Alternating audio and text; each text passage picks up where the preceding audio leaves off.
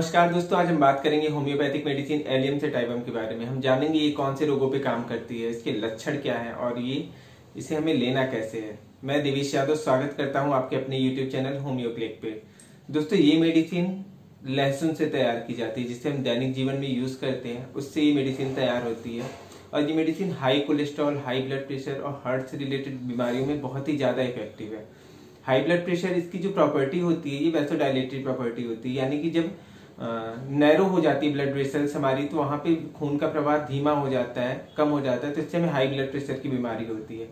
और इस मेडिसिन के लेने पे ये उसे वापस से उन नसों को नॉर्मल कंडीशन में ले आना, वापस से फैलाना डायलेशन करना उसका, ये उसमें काम आती है। और इस पर बहुत ही ज़्यादा इफ़ेक्टिव मेडिसिन है। और इसके अलावा हम बात करते हैं हाई कोलेस्ट्रॉल लेवल में, जिसमें कि अर्थेरोस्केलरोसिस हो जाता है, यानी नसों में कोलेस्ट्रॉल का डिपोजिशन होता है, जिसकी वजह से वो नैरो हो जाती है। इससे भी आपको हाई ब्लड प्रेशर की प्रॉब्लम होती है। इस पे भी ये बहुत ही ज़्यादा इफ़ेक्टिव काम करेगी। इसकी 20 से 30 बूंद, एलियम से टाइबम टिंचर क्यू की 20 से 30 बूंद आधे कप पानी में लेने पे ये बहुत निश्चित तौर पे बहुत ही अच्छा फ़ायदा करेगी। जब आपका ब्लड प्रेशर हाई हो, ऐसे केस में आप जब इस मेडिसिन को ले रहे हैं तो इसमें बहुत ही ज़्यादा इफ़ेक्टिव ये काम करेगी। इसके जो पेशेंट होते हैं, वो सेडेंट्री लाइफ ज़्यादा पसंद करते हैं। मतलब कि उनको आराम आराम वाला ज़िंदगी पसंद है, आरामदेह ज़िंदगी पसंद है। कि वो ज़्यादा फ़िज़िकल एक्टिविटी नहीं करना चाहेंगे, वो आराम से रिलैक्स रहते हैं, ज़्यादा चलना फिरना उन्हें नहीं पसंद होता।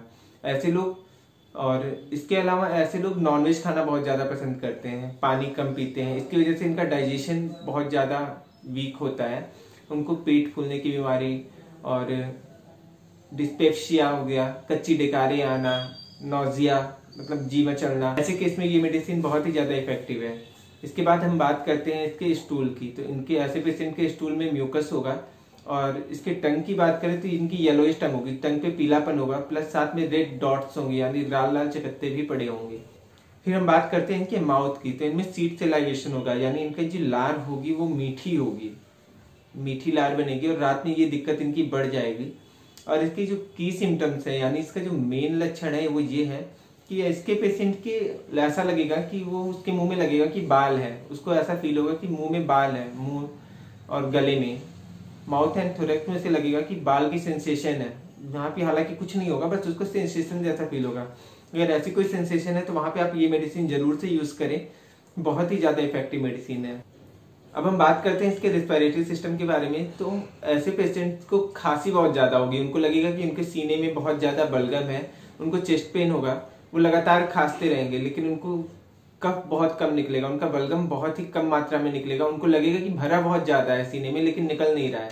इसके साथ इनके बलगम में ब्लड भी आएगा तो ऐसे केस में बहुत ही ज़्यादा इफ़ेक्टिव मेडिसिन है।